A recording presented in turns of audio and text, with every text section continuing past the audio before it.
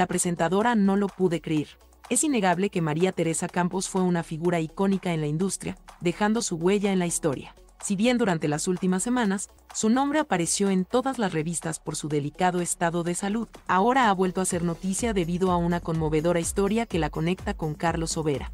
Uno de los primeros programas que ofreció la posibilidad a sus espectadores de encontrar el amor fue una carta. Para Teresa. El programa presentado por la periodista unió a muchas parejas y marcó un antes y un después en la televisión española. Desde entonces, son muchos los espacios que se han dedicado a encontrar el amor a sus concursantes. El más exitoso de los últimos tiempos es First Dates, que de forma inesperada se vio conectado al de María Teresa Campos. Durante un episodio del programa dirigido por Carlos Sobera, un joven participante reveló que sus padres se conocieron gracias a una carta para Teresa. Estoy en este mundo gracias a María Teresa, bromeo. Además, el chico aseguró que por la unión que creó la presentadora de televisión, sus progenitores crearon una hermosa familia con cuatro críos.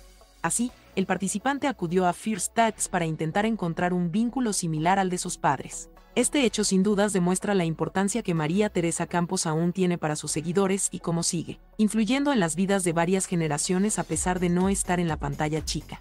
Último parte de salud.